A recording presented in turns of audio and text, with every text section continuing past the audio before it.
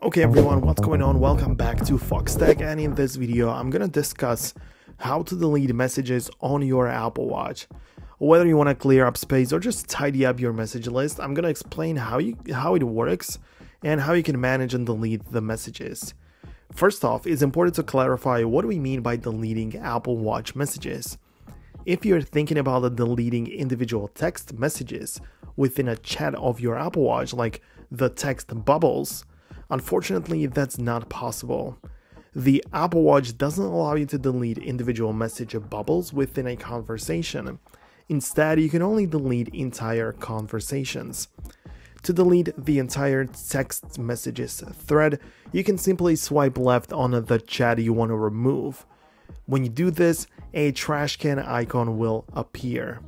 Tap on the trash can icon and then confirm that you want to delete the actual conversation. This will remove the thread from your Apple Watch and it's a quick and very straightforward process, but it is sort of all or nothing situation for the threads.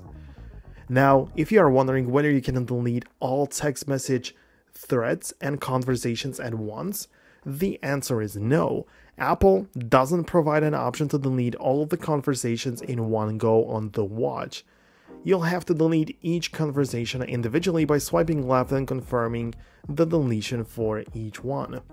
It's also worth mentioning that deleting messages on your Apple Watch doesn't affect your other devices. For instance, if you delete a conversation on your Apple Watch, it will still remain on your iPhone and other Apple devices. Additionally, the person you were messaging will still have the conversation on their end. So, to sum it up, you can only delete entire conversations on the Apple Watch, not individual text messages within a chat, and you can't delete all of the threads at once. So that's how it works. Hopefully, Apple will make some changes in the next WatchOS update, but for now, this is everything what you can do about it. Hope you found this video useful. If you did, hit the thumbs up, subscribe below, and I'll see you in the future.